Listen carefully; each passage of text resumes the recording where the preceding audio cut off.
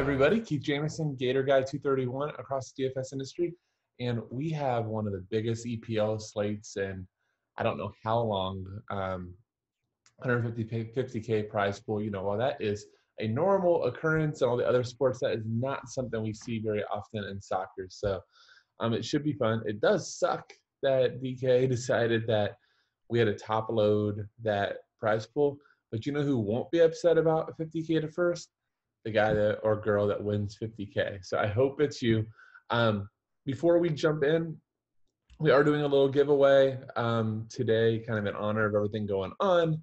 Um, so make sure that you subscribe to this YouTube channel um, and that you retweet um, the tweet. I'll put it in the YouTube comments and find us um, FSI underscore DFS on Twitter.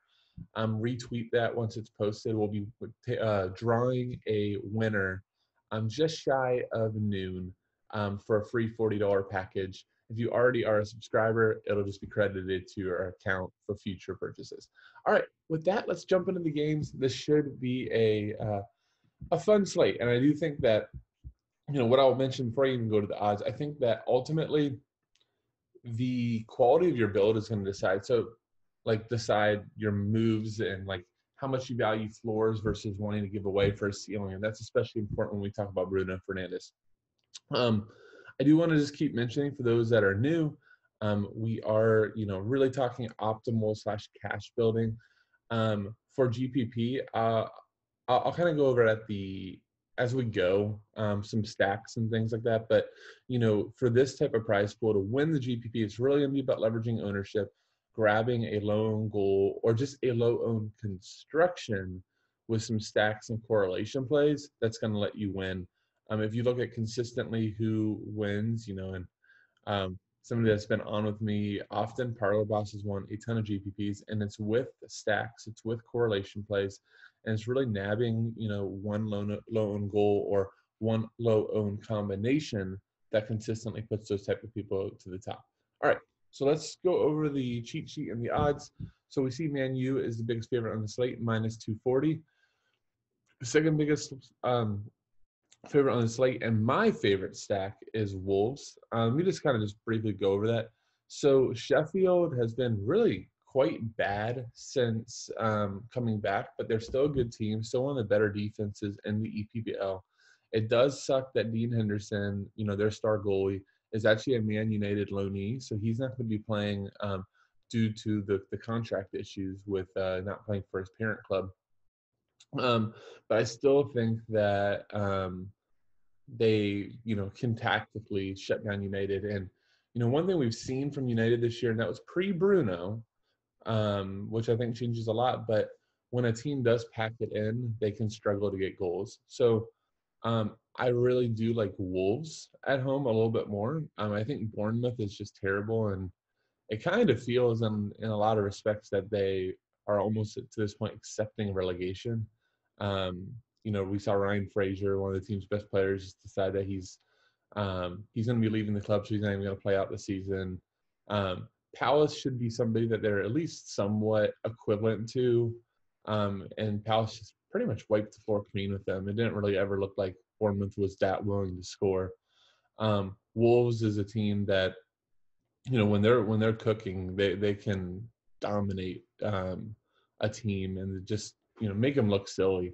Uh, so I do think that that's my favorite stack and maybe one of the pivots right away. And when we go over some Wolves pricing, um, we're going to see that there's not going to be a lot of those those top guys that are going to be that highly owned. I don't think um, because of how uh, you know combinations in the salary structured. So that is an interesting stat. Um, then we go to uh, Newcastle, just a slight favorite at home to Villa, but that has the lowest total on the slate, two and a quarter. And then Everton is a slight favorite on the road to Norwich, who looked awful as well to Southampton. They came out gang busting out of the gates for I think it was like 15, 20 minutes, kind of settled in the game. And the moment that, you know, they kind of let the foot off the pedal, Southampton just pounced on them. So, um, and Everton, I do believe, is a better team than Southampton. So Everton minus 110 might actually be a little bit of lay of the line. That 2.5 total, too, I, I, I feel like uh, if you're a betting person, that might be something to look at the over. Um, you know, I, I, don't really always trust Everton to keep a clean sheet, even though they played defensively great versus my Liverpool team. But uh, you know, they, they might get two or three goals themselves. Everton, that is. All right, so let's kind of go into projected lineups. Where I'm going to also just be um, going over salaries and some constructions as we go. So for some reason, Sofa score, um, you know, who lets you know us me get this uh, upload here, did not have Norwich and Everton as of this morning. So you know, here's something I found, um, you know, along the, the web that looks looks looks about right. So Aarons and Lewis playing fullback, Buendia starting without Duda, um, and then Pukki and Dermot. So here's what you need to look at at Norwich and the most important thing. Um, if Duda starts, so if Duda starts probably like over tribe tribal, um, sometimes they or actually probably over Dermot and they just play Pukki as a lone striker. Uh, he would split with Buendia, which does hurt, you know, Buendia, who's at this point I think to be one of the higher owned cash plays on the slate. He has an awesome floor. In this lineup, he'd have a monopoly, has sets. Um, McLean has taken before, but that was without um, Duda or um, Buendia on the pitch and just a guy that gets tackles, you know, a lot of shots assisted, some some shots himself. Um, and he's I think 80 200. So he's going to fit a lot of builds. So I do expect Buendia to be one of the better plays on the slate from a point per dollar perspective for a floor. Remember when we talk about floor, it's the, you know, those points that players can accumulate without goals or assists that we can kind of depend on versus having to shoot at uh, shoot at a goal, which obviously is a lot less likely of an outcome. Um, for GPP, Tribal or Pukki, I'm not Tribal, Cantwell or Pukki work. Um, but those fullbacks, I'll just tell you, they're, they're hard to fit on this slate. Um, I think you'll notice when you go through construction, um, you're going to lock in Digne on the other side. But outside of that, um, based on how the whole slate goes, it's really hard to pay up at fullback. And those those uh, Norwich guys don't really bomb forward or haven't in the past. Max Aarons has had a few games where he did, but I don't see that versus Everton. So I think for Norwich, it's uh, Buendia or bust, and then you know best GPP play is Pukki, maybe with the side of Cantwell. Um, so the Everton side, I think this actually may be in GPP one of the more popular stacks um, because it's Norwich's defense is bad and because they're pricing. They're just really a little softly priced on the slate given the matchup and the upside that they possess. Um, so in this, Coleman and Digne would be the fullbacks. Digne is incredibly, incredibly offensive. We didn't see that versus Liverpool, but we know in the past uh, he bombs forward. Um, when he gets out, when he provides that width on the left, um, almost everything he tosses in there is crossed to Richarlison or to uh, Calvert Lewin. And then he also has a share of set pieces with Sigurdsson on. He takes one sided corners, Sigurdsson takes the other. Um, I think I, I would argue that Richarlison is actually the most important player on the slate. Forward is really tough. Um, Rashford and Jimenez are you know great plays, but they're expensive, 9,500 and 10,500, 10,500 for Raul, which is which is tough. But Richarlison, despite 10.1 deep floor points versus Liverpool, 9.4 floor points versus Chelsea, 8 VK floor points versus Man U, that's just the last three. He's still only 7,600. So those are the type of floors that we expect to see from set takers, not from, you know, strikers slash goal scorers. So on top of those floors, he also has provided us 10 goals this year. Now he gets the soft Norwich um, defense. So I actually do think that point per dollar, he is the best forward play on the slate for optimal building. I love Calvert Lewin as a pivot off of him, especially for GPP, not for cash. I think it's a little tough for cash, but for GPP, he's 7,100, um, five goals in 10 games since the new year. Um, just somebody I could totally see showing up with a brace here um, and maybe going under owned in that big 16 to 7100 or Charles I really like. In cash, the I think I hope, I should say, I hope that more people decide to go to Sigurdsson over Richarlison. Sigurdsson 6900 does have the share of set pieces, which we know, you know, especially for guys like me. You take a corner and then all of a sudden you're already on my radar. We're going to talk about a guy later that that, that happens, but and that's the case with a lot of players. Obviously, corner kicks, you know, do provide us some of the best floor in DFS. Um, and Sigurdsson does take them. Now, don't be kind of fooled by there's like a 17 cross log, there's a 16 cross log in there. Um, when Ancelotti first took over, he let Sigurdsson just take a monopoly, even taking him over Digne. Um, since then, that has gone away. Uh, it's just soccer. So, like we saw this with West Ham yesterday. Sometimes these set piece situations, all we can do is go off of the pre- previous data and what happened in previous games. And sometimes tactics change and uh, set takers change. So, could Sigurdsson show up and take a monopoly? Sure. Is it likely? Probably less likely than that. Um, I think Digne um, delivers a good ball in, um, and I do think that that's going to be a split. Also, Sigurdsson just, you know, it's he used to be this guy at Swansea City that, you know, I make the joke in uh, our Discord that there's a few gods of DFS. You know, Caustic's a god of DFS, Trent Alexander-Arnold, Kevin De Bruyne, Lionel Messi. Like these guys that just they walk on the pitch, it's double digits, and you know, you're actually more surprised when they don't show up with 20. Um, used to be that for Swansea, not so much for Everton. But 6,900 is really interesting. Iwobi, so you're going to need a punt forward, I think, on a lot of builds.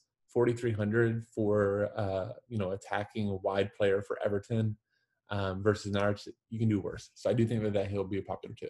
All right, enough time on Norwich and Everton. That's probably the game I'm going to go the most detail into because these other ones are a little bit more two games one sided and then one game that's just going to kind of get lost. So let's talk about Man U versus Sheffield first off, let's just talk about Sheffield. I don't see you using any sort of builds here outside of two just pure punts.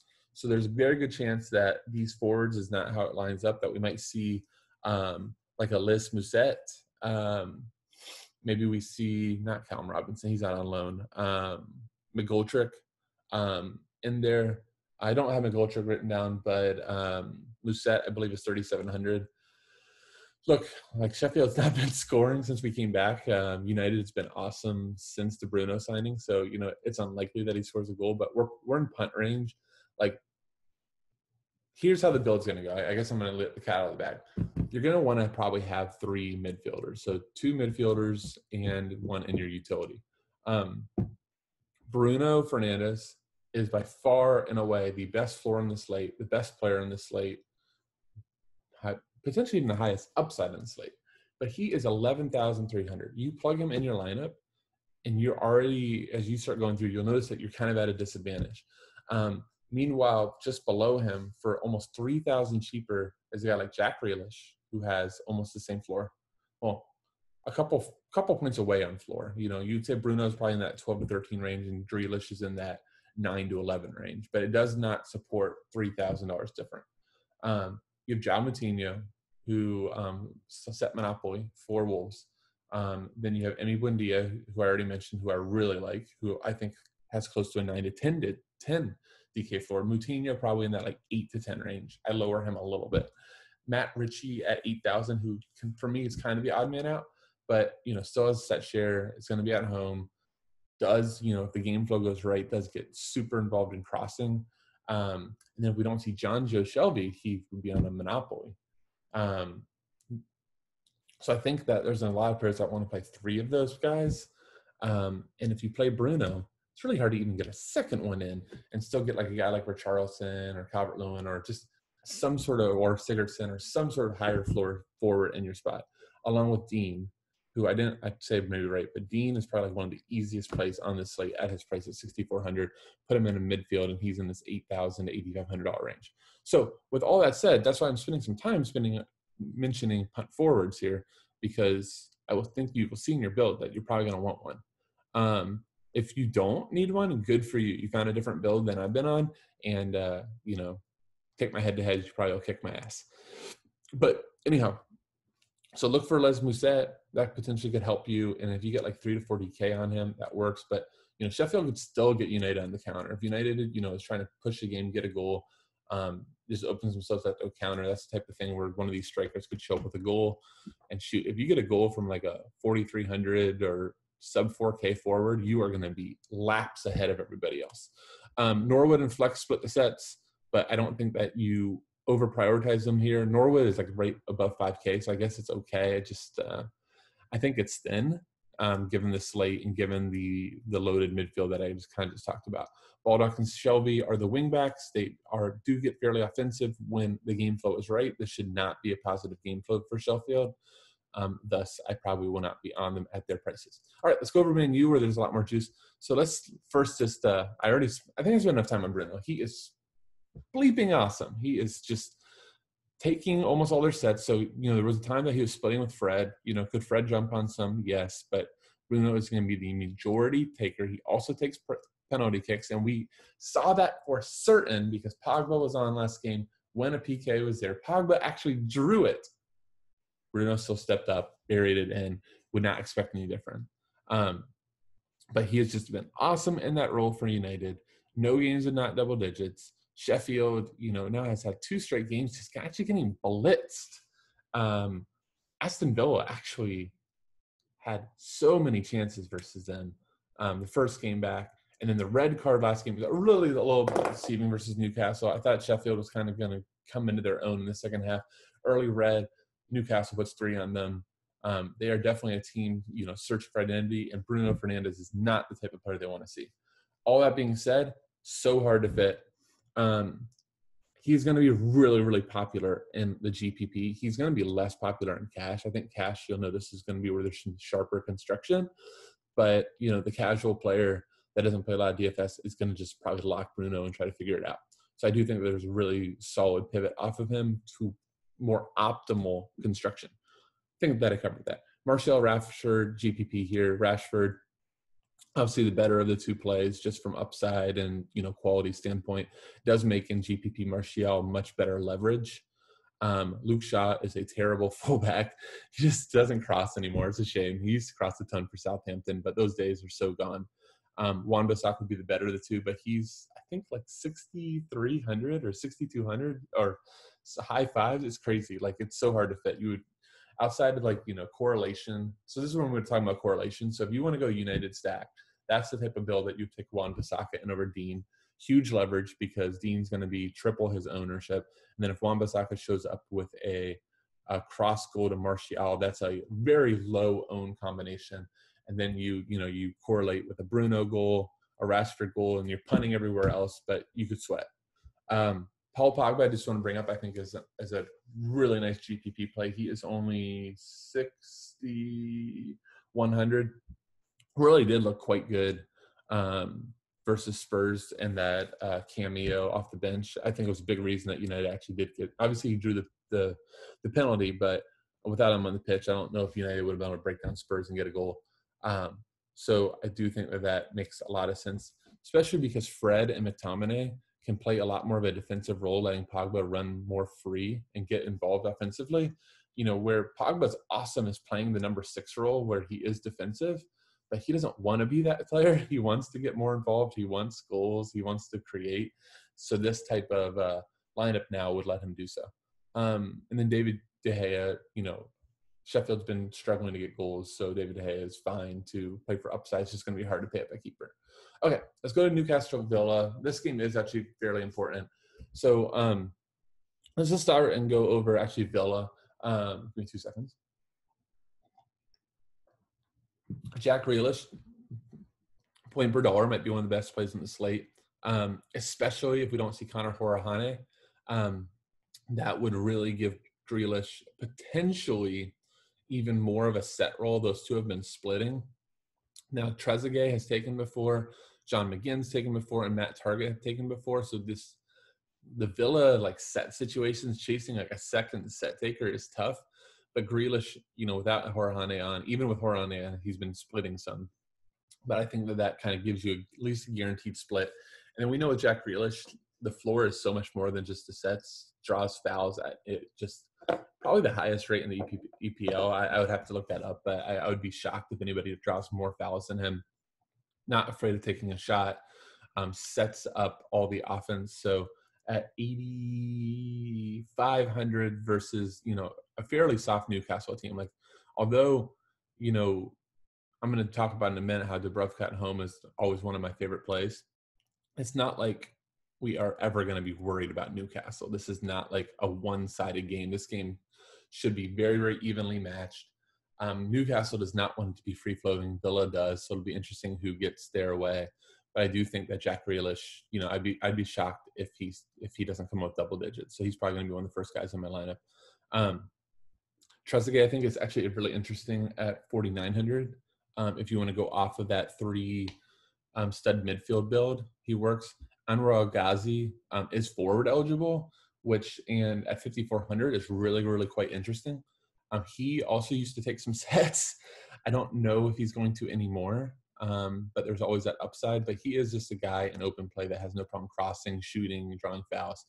Um, so he could easily get like six to eight DK without a goal. So 5,400, you like it.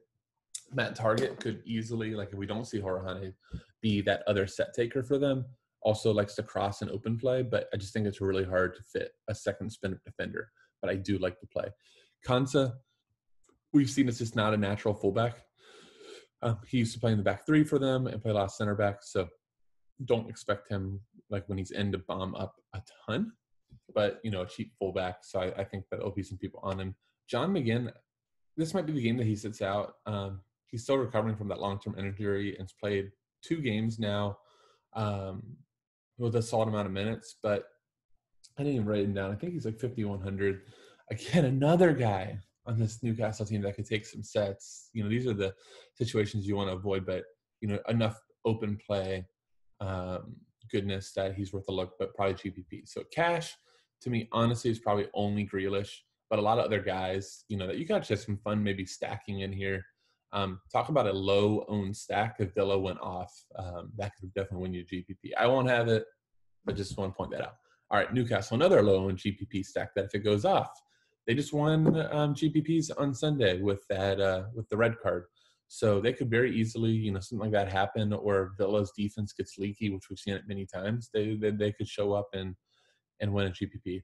The top cash plays, Matt Ritchie, 8K, uh, feels steep to me, but I see a lot of builds that you land on him as that third four, that, that's that third midfielder. Um, so I can support it. He does have a good floor probably close to double digits, and then we saw a ceiling game last time. So he may becomes actually an even easier play if we don't see Jonjo Shelvey. He probably would move to closest set monopoly as long as you don't see Lazaro in, which I don't think you will. But Lazaro has taken before. But other than that, you know, Ritchie might take a monopoly. In that situation, it's a little bit easier to uh, to swallow that pill with him. Um, I think he very well may be the only cash play. I know there's a contingent that always play Miguel Almiron, 6,400 because he's forward eligible. It, feels steep to me on the slate. You know, much rather pay 1,200 to go to get Richarlison. I'd much rather pay 700 more to go get Calvert Lewin, um, and then you know 500 to Siggy. God, it sucks having so much Everton like not love. I can't love. I'm a Liverpool fan, but but intrigue Everton intrigue is tough for me to do. But those work. Joelinton, 6,000. That's a GPP play only. Um, Allan St. Maximin, ultimate GPP play. Love this guy. So active. Like he's actually just awesome to watch how he takes on and runs at people. But I think he's like 7K at midfield. He won't be any owned. So, you know, GPP play right there.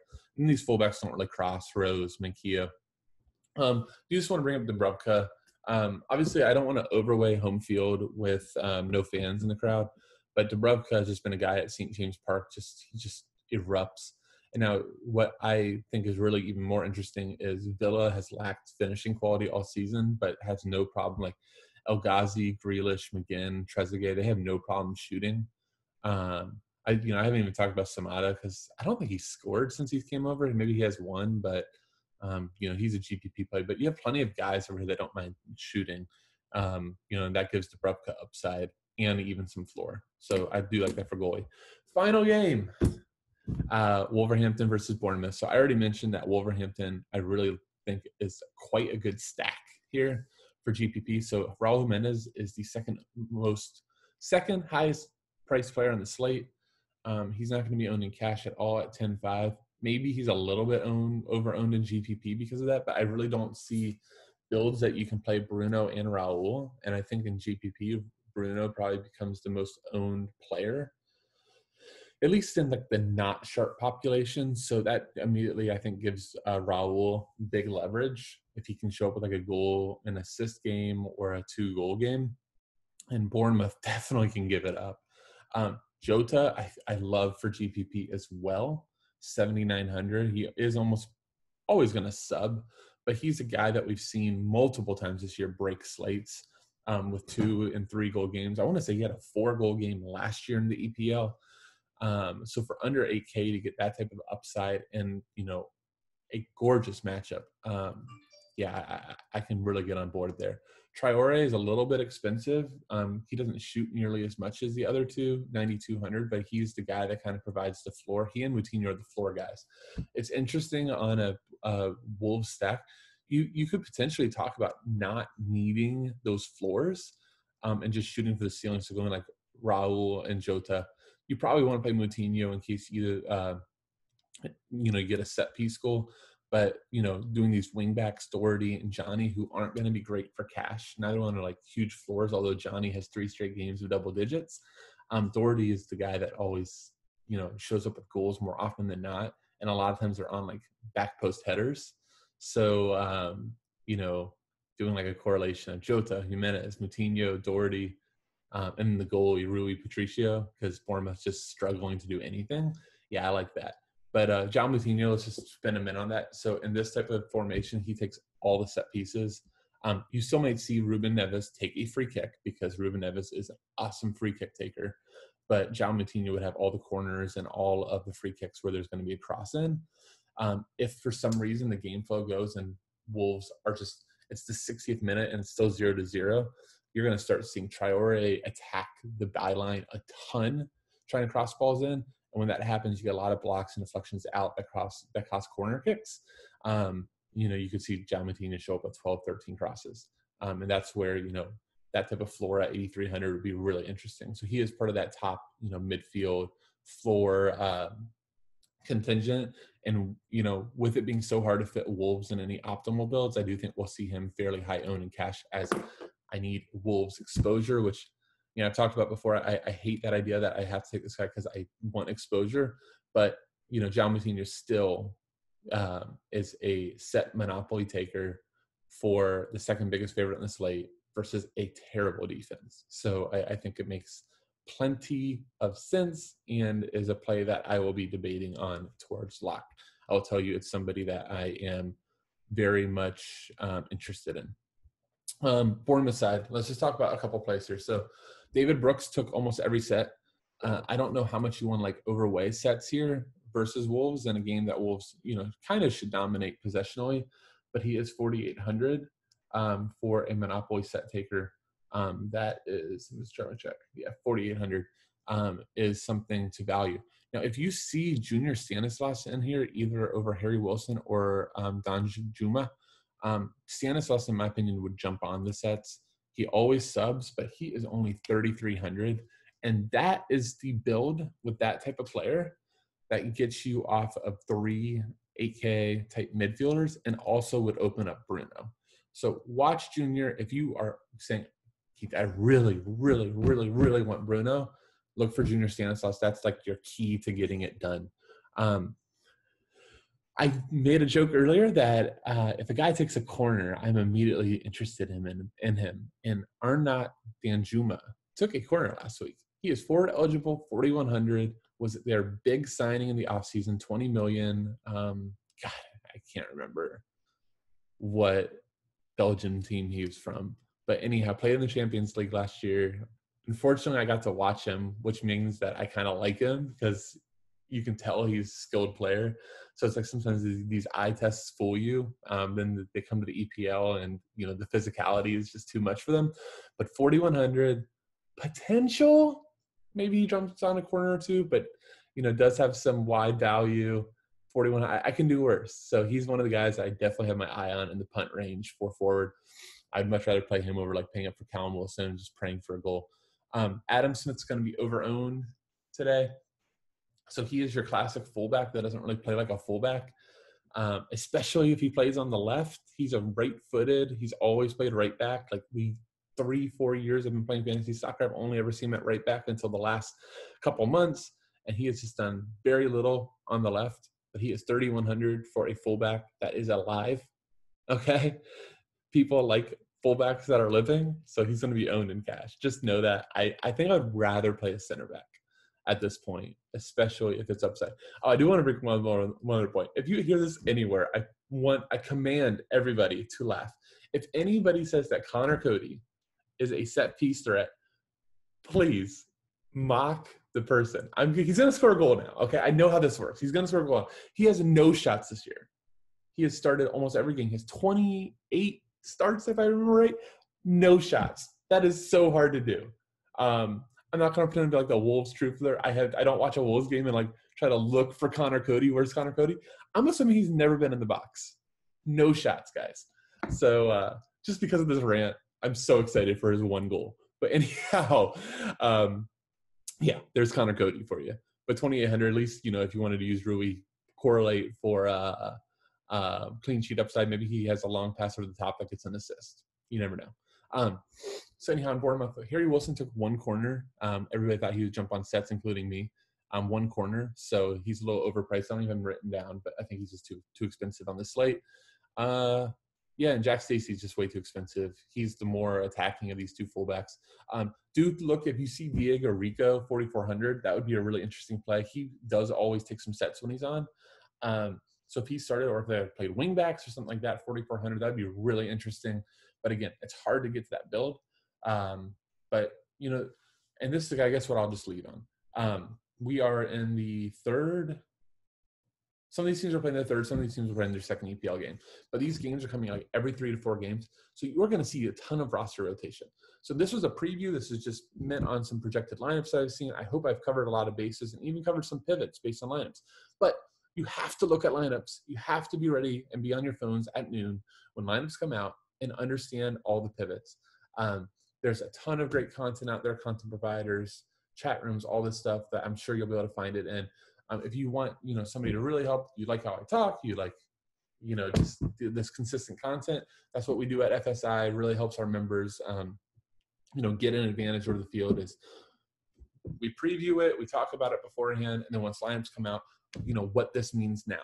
So please make sure that you're paying attention to that um, and understanding all those picks and pivots. I really hope you enjoyed this video. Do not forget to tw- uh, to do the retweet contest. Would love to uh, give away um, this $40 prize. Um, and once again, Keith Jameson, uh, Gator Guy 231. Really appreciate you all watching. Hope you have a great day. And somebody take down the GPP. That is not uh, that is not one of these top DFS pros that will show in the show in the lot. Take care, guys. Have a great day.